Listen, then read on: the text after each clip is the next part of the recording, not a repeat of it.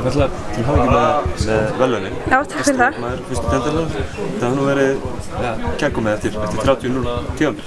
Já, algjörlega. Það er hérna, það var bara geggja tímanbíl hjá okkur. Við vorum búin að veist, byggja upp með þetta öll þessi ár, bara að komast loksins upp og þetta var bara mjög kærkomið. Já. Nú farið já, þið farið tablauðsverði gegnum fyrstöldina Já, og það er öllu eðlilegu, það ætti, þá að vera já, einan klárar fyrir, fyrir Dominus-deildina en Káar ákvað fyrir einhverjum árum að fara í einhvers konar svona uppbyggingarfasa, finnst þið, liðið vera tilbúðið núna?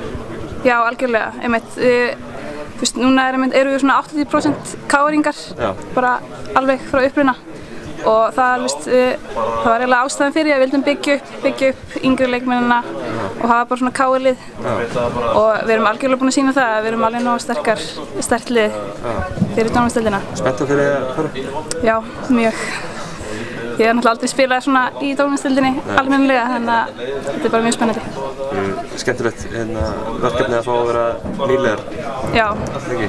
algjörlega. Bara að hérna, halda sér uppi allan og þetta verður gaman. Kikið, takk. Kekja.